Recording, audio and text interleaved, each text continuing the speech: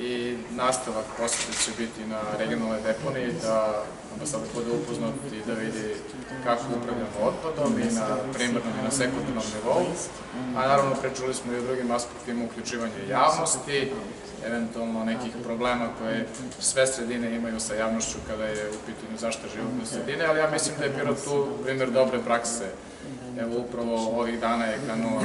izgradnja i stanice za praćenje kvaliteta vazduhom, vazduha, e, tako da,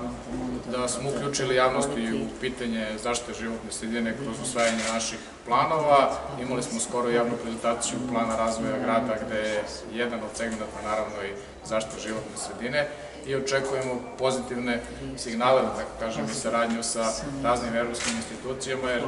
Pirot ne može sve ovo sam da finansira. Pirotska javnost zna da smo mi kroz period finansiranja i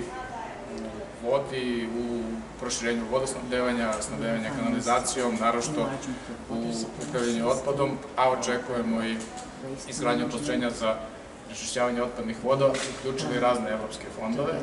što direktno preko Evropske komisije, što preko KFE banke, što preko prekogranične saradnje i poseta diplomata iz Evropske unije i zemalja unije su nam vrlo značajne i.